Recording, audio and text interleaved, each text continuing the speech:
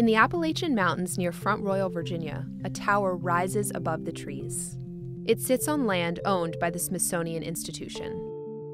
The tower is part of an ambitious ecological science project funded by the National Science Foundation. It's called NEON. NEON is a National Ecological Observatory Network. Um, it's comprised of uh, an array of 20 different domains. Each domain has a core site, like we're at right now. In all, NSF is spending about half a billion dollars to build about 80 NEON sites across the United States. Some will have towers like this one that will stay in place for 10 to 30 years. The towers are packed with instruments that measure all kinds of things temperature, sunlight, and the movement of gases between the land and the air.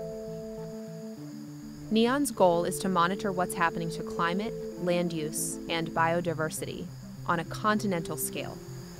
There's a lot of great science already out there, a lot of long term ecological research sites. The difference with NEON is that we're compiling a data set where we're collecting data the same way, at the same time, across the continent.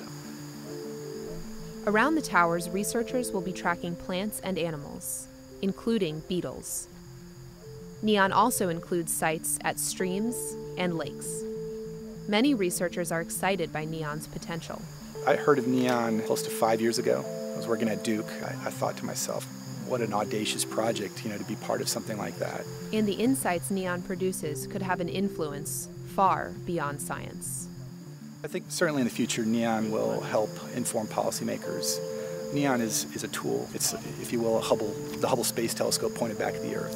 We're trying to understand trends, capture those trends, uh, describe them, and then also show how those things are uh, changing our ecosystem. Once we understand that, I think it'll be much easier to make decisions that are grounded in true science.